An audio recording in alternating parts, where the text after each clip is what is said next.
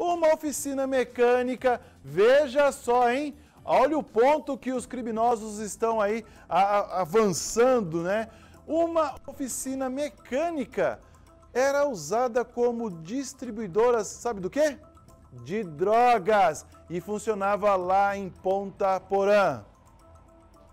Investigações em curso apontam que uma oficina mecânica especializada em caminhões, localizada em Ponta Porã, próxima à linha internacional, era utilizada como entreposto de drogas. As diligências apontam que muitos dos caminhões que permaneciam na oficina mecânica, supostamente aguardando reparos, na verdade ali estavam para serem carregados com drogas, que em sua maioria tinha como destino o sul e o sudeste do país. Os policiais identificaram um rápido aumento do poder aquisitivo do proprietário da oficina, que neste ano vivenciou um exponencial aumento de patrimônio.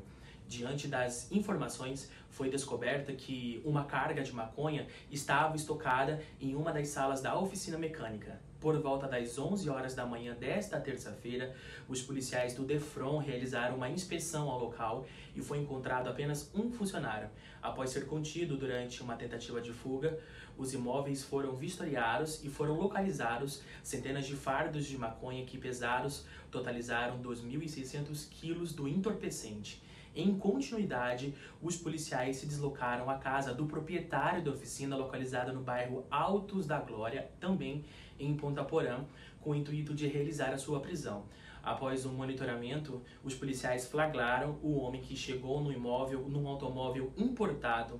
No momento em que ele foi detido, além deste automóvel, foi também apreendido um Toyota Corolla igualmente adquirido com os lucros do tráfico de drogas. Os presos foram autuados em flagrante pela prática de crime de tráfico de drogas e associação para o tráfico, sendo representado pela decretação de suas prisões preventivas. Com mais essas atuações, a Defron totalizou um montante de 96 toneladas de drogas ilícitas apreendidas no ano de 2021.